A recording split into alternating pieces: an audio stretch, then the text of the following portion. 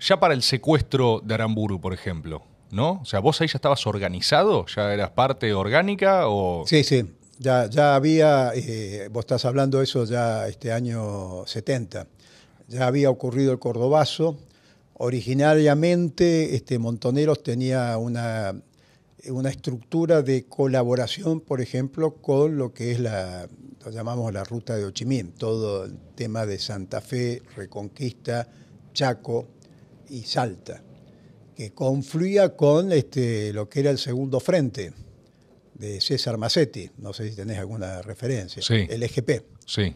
Yo cuando quedé preso después me encontré con, con Méndez y Lluvé en la cárcel del Chaco, que son dos sobrevivientes de- del EGP, ¿no? Y este, ¿A Massetti lo conociste? eh, no, a César Massetti no, pero Massetti estaba, era el segundo comandante y estaba, eh, era, estaba coordinado con el primer frente que era el Che en Bolivia. Todo eso, como sabemos, fracasa Sí. este, militar y políticamente. Y, este, y en el medio de eso ocurre el Cordobazo. Claro. Nosotros teníamos agrupaciones en la ciudad, pero viene una sociedad industrial con una presencia del movimiento obrero y el movimiento estudiantil que toma una ciudad como Córdoba. Nuevamente, Cordobazo. Entonces el- vos estás yendo en esa dirección y te das vuelta y decís, eh, pasa por acá.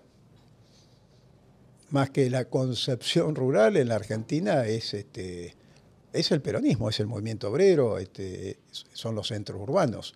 Te iba a decir nuevamente, salarios obreros, eh, si los hacemos comparativamente hoy, No, altísimos. No, no, eh, te, te largas a llorar. Y- Este, el- Y tomaron una ciudad, digamos. y tomaron una ciudad. Eh, eso estamos hablando año 69, eh, ya que hablas de los salarios. Ah, El año 73-74, que hay una recuperación salarial nuevamente con el gobierno de, de Cámpora eh, y, y de Perón, eh, nosotros en las coordinadoras sindicales discutíamos, no discutíamos salario, discutíamos condiciones de trabajo, discutíamos la cogestión obrera Mirá. discutíamos la participación en la ganancia. Es decir, hemos retrocedido tanto que te ha colocado en la lucha del movimiento obrero una línea mucho más defensiva desde el punto de vista político gremial.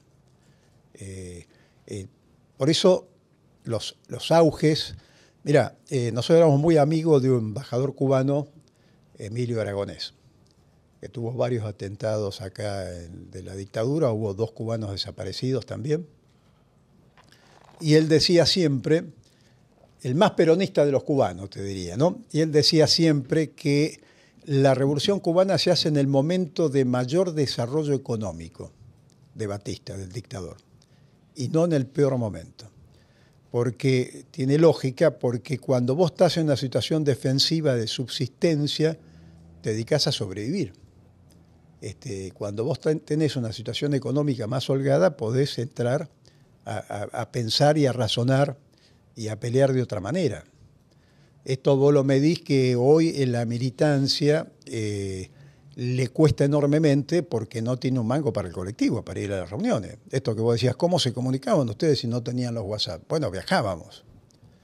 Este, y cada momento que vos viajabas lo aprovechabas al mango, porque para viajar te costaba, y, en tiempo, digamos, ¿no? En esfuerzo en tiempo y, y en lo económico. Hoy, este, para que un pibe o un compañero pueda venir de, un, del- de, de la matanza a una reunión de la capital es, es plata, y no la tenés. Entonces la militancia es mucho más dura en esas condiciones que en la época nuestra Claro. este, totalmente. ¿no? Y, y ese, ese es un tema, por ejemplo. ¿no? ¿Sabes por qué? Te, y te preguntaba antes lo del secuestro, por, porque imagino que incluso desde Córdoba, va, no sé, supongo, eh, ¿eso se sabía antes, se anunciaba, o vos te enterás como se entera todo el mundo y de vuelta nuevamente principio de acción, tenés que ver cómo te acomodás al respecto de eso No. y dónde te deja? Eh, te pongo otro, otro ejemplo de- dentro de esto que planteas. Perón mandaba una cinta, o Perón hablaba, eh, temporal, o las cartas famosas. Bueno, vos leías la carta que ya tenía un mes, de- desde que la emitió hasta que te llegó. ¿Qué hacías? Interpretabas, sacabas de eso los elementos políticos y generabas una política de poder. Eh, digamos, no, no, no por temas de comparar, pero hoy tenés un discurso político de Cristina y te dice, bueno, este, hay que alinear eh, firmado el acuerdo con el Fondo Monetario, hay que alinear este, salarios, tarifas, inflación, jubilaciones, tasas de interés. Este, entonces, ¿qué tenés que hacer vos como militante político? Decir, bueno, esas cinco variables tienen que estar alineadas porque si se te desmadra la inflación, se te desmadran las tasas de interés, se te desmadran los salarios o las jubilaciones, este, se rompe todo. Entonces tenés que generar una política en función de eso. ¿Y qué política generás? Suben los precios. ¿Qué hay que hacer?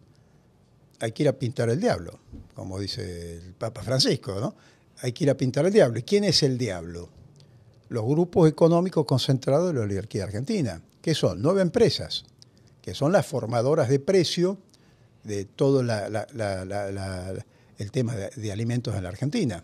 No vas a Plaza de Mayo este, a reclamarle al gobierno, vas a la Copal, vas donde está la cueva de esas nueve empresas que son las formadoras de precio.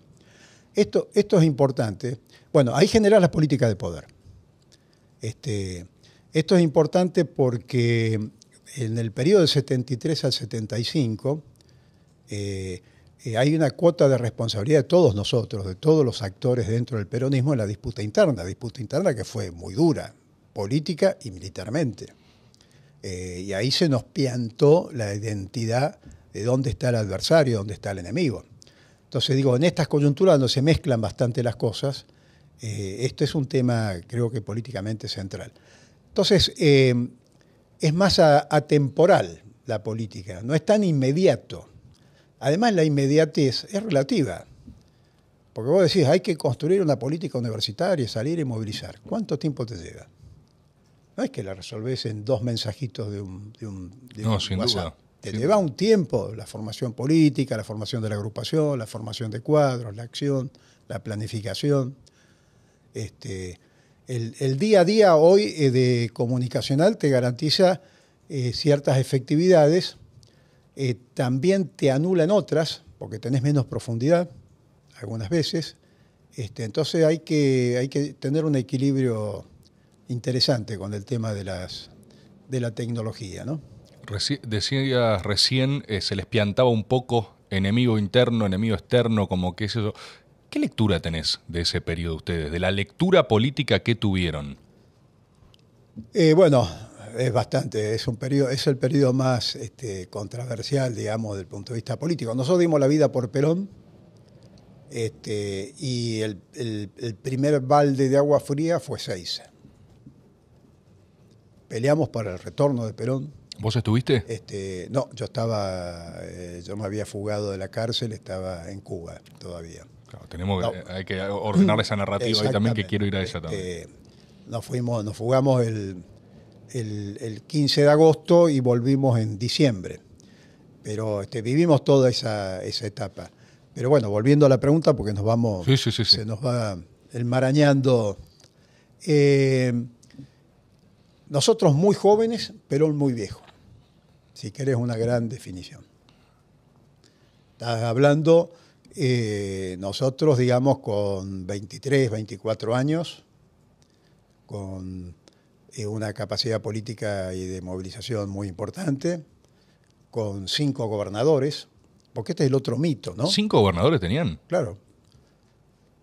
Videgain, provincia de Buenos Aires, Obregón Cado, provincia de Córdoba, Martínez Vaca, Mendoza, Ragone, actualmente desaparecido en Salta, y Jorge Sepperning, el padre político ideológico de Néstor y Cristina. Cinco gobernadores, más los diputados nacionales, más los intendentes, más los concejales. Y la estructura política de la organización, ninguno de los compañeros fue candidato a nada, porque diferenciábamos gobierno de movimiento popular. Entonces, el gobierno se fortalece si el movimiento popular está organizado. Un gobierno es fuerte si tiene el pueblo organizado. Para convocarlo, para dar la pelea política. Por ejemplo, qué sé yo, eh, Alberto firma un decreto por el tema de Vicentín. Sale la derecha te gana la iniciativa política y desde el movimiento popular no hay una fuerza política necesaria que lo respalde o que lo empuje o que concrete este, esa, iniciativa que sería hoy sería espectacular. Hoy con el tema de los precios. No, sí, a hoy. Este, eh, visto, era, era una medida estratégica. Este, era, si eso salía era un antes y después del gobierno. Era como Cristina con el tema este, y Néstor de la FJP. Este, pero bueno, eh, e, este tema eh, del 73 al 75 fue un tema este, complicado. O imagínate que en Ezeiza tenemos, este, todavía no se sabe con certeza, pero hay cientos de muertos. Fue una emboscada militar fue un impedimento para que Perón viera esa masividad, esa efervescencia del pueblo argentino, y a partir de ahí empieza toda una pelea interna salvaje. ¿no? Y eh, acomodada, eh, financiada y orientada por los grandes intereses económicos. Hoy podemos decir dentro del frente de todo, vos no sentís como que te asusan para que te pelees con el otro, para, para que las contradicciones se agudicen, mirá lo que le dijo Cristina a Alberto, mirá lo que le dijo Alberto, todas estas pelotudeces, digamos, que buscan eh, esconder lo que se está debatiendo dentro del frente de todo, que, es lo más profundo, ¿no? qué es lo que hay que cambiar, qué es el rumbo que hay que rectificar.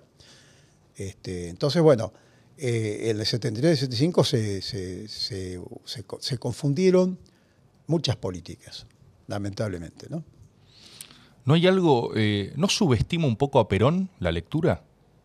¿En qué sentido? Porque vos decís Perón era demasiado viejo y decís fue orquestado, o sea, para impedirle ver la potencia o la vigencia de la movilización popular. Vos decís, te, hablo concretamente de la teoría del cerco, ¿no? Como idea. A mí siempre me dio la impresión, un periodo que no viví, eh, que los cercos no les creo mucho a los cercos. Creo que el cerco existe en tanto la persona que lo arma, que de hecho lo arma, eh, refrenda su pensamiento. No, le queda incómodo otra cosa. No, no habría elegido, o sea, en un periodo increíblemente complejo de la historia. Perón no viene a, pacificar. Eh, bueno, Perón se supone que viene a pacificar este, y viene a impulsar una situación casi revolucionaria en la Argentina. Viene a las dos cosas en un contexto latinoamericano donde el imperio ya está, eh, la Argentina está rodeada de dictaduras militares. Cayó Salvador Allende, la última democracia este, en, el continente, y Perón se tiene que ver con Pinochet. Hay un cambio, eh, dirían, en la relación de fuerzas de América Latina este, importante. Pero eh, Perón cuando, cuando retorna, retorna con la actualización doctrinaria si ustedes tuvieron la oportunidad de ver este, esa, película, vas a ver un discurso acorde con la época. Y, se enfrenta a una situación en la Argentina este, de, una, de una pelea interna muy dura, de disputas de poder, donde vos, por ejemplo, de los cinco gobernadores, los cinco gobernadores son destituidos. Obregón Cano se los, lo saca el comisario Navarro con una pistola en la cabeza entra al despacho, le pide una entrevista como, como jefe de la policía de Córdoba y sale con el gobernador, está filmado, con el gobernador con una pistola en la cabeza. Este, y el gobierno nacional, ¿qué es lo que hace? Manda un interventor. Y ahí queda Navarro. Este, a Videgain lo destituyen. Este, Viste que estaban los gobernadores este, y tenían un vicegobernador de la UOM, generalmente, un sindicalista. Lo reemplaza Calabró y a, Martínez Vaca lo destituyen y lo reemplaza este otro sindicalista. ¿Y vos de eso no haces una lectura de Perón la está viendo por otro lado entonces? Si Perón la está viendo por otro lado, eh, creo que es un error histórico importante, porque son, son gobiernos este, centrales de provincias importantes, o sea, no son, eh, eh, sin subestimar ninguna provincia, por supuesto, pero no es una pelea en Tierra del Fuego, una pelea en lugares este, más que trascendentes.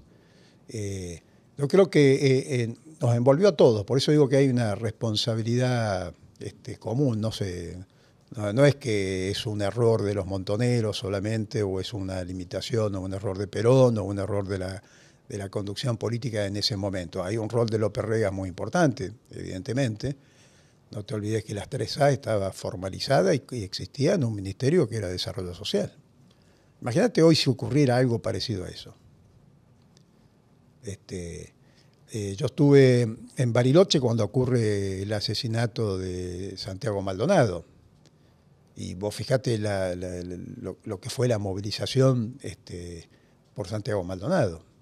O sea, hay un nivel de reacción a nivel popular este, mucho más maduro, mucho más masivo, de rechazo a todo ese tipo de, accionar. Entonces, eh, se confunde el enemigo, la pelea interna como que distrae este, y encarajina todo el debate político, y el enemigo que agudiza esas contradicciones, este, claramente. Simultáneamente vos tenés, por ejemplo, en esa época tenés a Martínez de Osa, López Aufrán, el general López Aufrán, de la dictadura anterior, este, eh, jefe de una de las fábricas este, mecánicas de, Villa Constitución, de lo que era Sindar, que después va a ser, este, va, a ser digamos, eh, eh, privatizada y la va a tomar Techín. Pero ya había represión en, en, la famosa lucha de Villa Constitución del año 75. Hay desaparecidos, hay muertos, hay, persecuciones, hay un mini campo de tortura este, dentro de la, planta, este, y eso en plena democracia. Entonces ese periodo fue un periodo muy álgido. Y vos me podés decir, ¿y no se veía eso? Claro que se veía. Este, había una permisividad de, esa, situación que después eh, a mi padre lo secuestran antes del golpe militar los comandos libertadores de América. ¿Y qué eran los comandos libertadores? La policía provincial con el ejército, con Menéndez. Este, y a mi padre lo amenazan en una fiesta de un casamiento de la hija de un general que va, este, le dicen que tenía que este, eh, contraponerse, este, tomar distancia de la militancia de sus hijos. Porque mi hermano Hugo, que lo matan, lo asesinan en plan de fuga, un supuesto este, eh, eh, fuga, digamos, de, la cárcel, este, era el funcionario de, Ricardo Broncano. Este, y Daniel era funcionario de Vidgain. Eh, o sea que había, había una, además yo, este, reconocido montonero, digamos, pero bueno, y, eso no se veía. claro que se veía. ¿Y a tu hijo lo agarran diciéndole que o sea, que se distancie de eso? Le piden una declaración contra los hijos. Un general se le acerca en la fiesta y le dice, vea doctor, este, usted tiene que tomar distancia de esto claramente eh, y, tiene que eh, denunciarlo. Y evidentemente, bueno, ahí mi padre, mi, viejo hace dos cartas, una a mi madre y otra a los hijos. Una carta que tiene un valor este, muy importante porque en esa carta ya anuncia lo que va a pasar y dice, si me llega a pasar algo, le pido a mis hijos que jamás actúen por venganza. Este, y bueno, eso, o sea, esa situación la vivió mi familia, pero la vivieron la familia de los Pujadas, la vivieron la familia de los La Plata, la vivieron la familia de los Santuchos. Este, no es un, un invento, un caso puntual. Y eso es antes del golpe militar. Y no se veía toda esa situación, claro que se veía.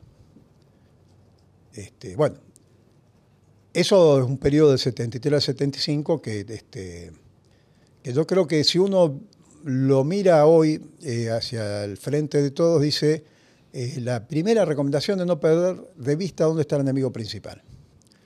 La segunda recomendación es tener claro que eh, los grupos económicos van a operar, operar para agudizar esas contradicciones.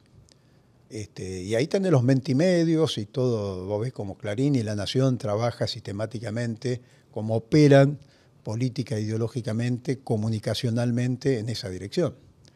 Entonces hay que debatir, hay que discutir, es fundamental, este, pero no hay que perder de vista esas dos cosas también. ¿no? Vos ese periodo, la, por ejemplo, la, echada de la plaza, simbólicamente, también la procesaste, te tocó verla de afuera, te tocó... ¿Y quién te dijo que nos echaron de la plaza? ¿No los echaron de la plaza? No. Yo, vine con la columna de Chaco, Misiones y Formosa, era el responsable regional del noreste en ese momento.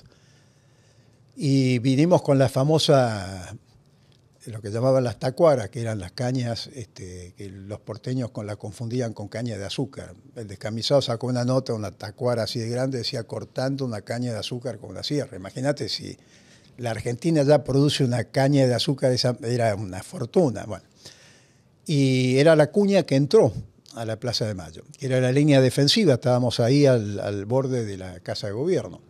teníamos todo el comando de organización y el CNU este, de, este, de resguardo de la Casa de Gobierno y nosotros estábamos ahí a una diferencia de dos metros.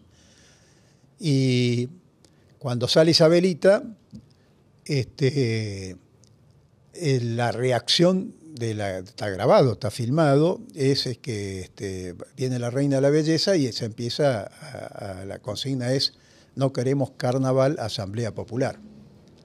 Eso yo creo que lo ofende a Perón.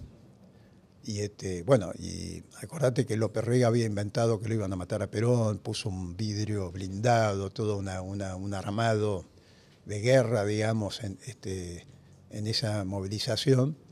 Y, eh, y, este, a partir de cuando sale Perón, este, hay una consigna que es ¿qué pasa, qué pasa general? que está lleno de gorilas del gobierno popular. Bueno, eso al, estilo peronista, y nada menos que un liderazgo como Perón, este, obviamente lo enoja y cuando empieza a putear los imberbes, nosotros, después dicen los estúpidos, este, cuando tira esa pequeña palabra, llueven las piedras. Yo estaba en esa línea, yo estaba en la, línea defensiva nuestra. Este, eh, empieza eh, muy agresivo el discurso de Perón. Eh, cuando yo me doy cuenta, porque tenía la, pelea ahí mano a mano, tipo barra brava, ¿viste? de un club al otro, este, me doy vuelta, no veo, veo que la mitad de la plaza se vació. Y nosotros teníamos un carnecito que nos identificaba, porque éramos todavía, para la mayoría éramos medio clandestinos, los referentes eran Galimberti, Gullo, los compañeros de superficie. Tenía que ir con eso mostrándolo para que me dejaran pasar. Hasta que me puse a la, a la cabeza de la columna, pero empecé de atrás nos replegamos, pero cuando yo me doy cuenta, me doy vuelta, la mitad de la plaza ya estaba vacía. Este, y la, política nuestra era no agudizar las contradicciones y evitar lo que llamamos un enfrentamiento civil este, en esa movilización, porque en los puntos de concentración nuestro, que era agronomía y que era la Facultad de Derecho, estaban todas las bandas paramilitares dando vuelta. Nos vamos de la plaza bajamos por Callao y viste que Callao tiene una, pendiente y yo paro la columna y hago que todo el mundo mire para atrás para ver la masividad de lo que se había ido. Y bueno, se ve, y después cuando miro para arriba, medio accidentalmente, veo todos los garcas contentos, sonriendo, digo, algo, algo está mal en todo esto. Porque si estos tipos están contentos en esta zona, es división del movimiento popular. Eh, en ese momento, Perón entra, está Oscar Allende, esto está en el libro de Oscar Allende también, eh, y, Oscar le dice, Oscar Allende del PI, le dice, general, ¿qué, qué pasó? Y este, él le dice, bueno, de vez en cuando hay que tirarle las orejas a los muchachos. Y queda ahí. Y le dice a López Rega, y no quiero ningún tipo de enfrentamiento. Se lo dice directamente delante de Oscar Alente y no sé quién más ahí, pero está en el libro de Oscar. Este, o sea que sabía que alguna picardía este, había francotiradores en la Plaza Riga, en los edificios. Eh, bueno, eso yo creo que queda saldado después cuando el último discurso de junio de Perón, que dice mi único heredero es el pueblo, no he venido acá a consolidar la dependencia. Este, se genera otro momento. ¿no? Ahí yo me entero después por, por Juan Manuel Aval Medina que este, posteriormente a esto Perón le pide una reunión con Norma Rostito y conmigo. Cómo buscar eh, puntos eh, de, de, acuerdo ¿no? después del primero de mayo de 74. Entonces, tu lectura es que medio que ese discurso más que echada fue una carajeada, o sea, se picó un poco, se pudrió, porque era un momento de podrida, y después... Si vos fueras Perón y tenés una plaza con ese este, ímpetu y debate, y, con mucha fuerza en, gente, en pueblo, este, medio que te incomoda, ¿no? Este, si uno se coloca en, otras posiciones, en medio de una situación tensa en el gobierno. Pero bueno, es un tema. Eh, eh, eso no quita que uno cuando analiza la historia política eh, tenga algún tipo de rencor. Al contrario, nosotros seguimos reivindicando este, el peronismo, es el único movimiento, y a Perón, obviamente como conductor, es el único este, movimiento, te diría, contemporáneo de los últimos 70 años que está vigente en América Latina. El MNRI boliviano no existe más, el APRA peruano no es que no exista más, están muy disminuidos, este, el barguismo este, brasileño lo mismo, el, socialismo chileno ya es otra cosa, el peronismo sigue vigente. Ahora, ¿por qué sigue vigente? Porque lo vivido en esos 10 años no ha sido superado por ningún gobierno. Este, eh, es, una inmensidad. Si vos retrocedes a esa época y ves Argentina, no lo podés creer. Este, esto es lo que estamos diciendo, ¿no? Si eh, vos me preguntabas, 73-74, con un índice de participación de los trabajadores en el PBI este, más que importante, este, con un nivel de donde vos estás discutiendo condiciones de trabajo, con una economía todavía en desarrollo, en, en crecimiento, este, con toda una serie de ofensivas políticas conspirativas importantes, vos ves después de 38 años de democracia, estamos, retrocedimos bastante, ¿no? ¿Qué responsabilidad tiene la dirigencia política? Es un tema. Alta. Alta. Entonces, cuando los pibes rechazan la política, tienen con qué algún fundamento para hacerlo, ¿no?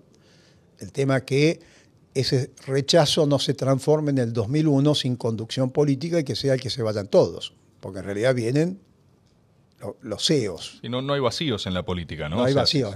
todo dejas un regalo, básicamente. Uy, uy, uy, uy, uy. ¿Quién acaba de terminar un corte del método? Vos, lo sé muy bien. ¿Lo disfrutaste? ¿Sabes qué disfrutaríamos nosotros? Que te suscribas a este canal. ¿Por qué todavía no te has suscrito? O sea, ¿qué, ¿qué más tiene que darte el método? ¿Por qué no nos das nada?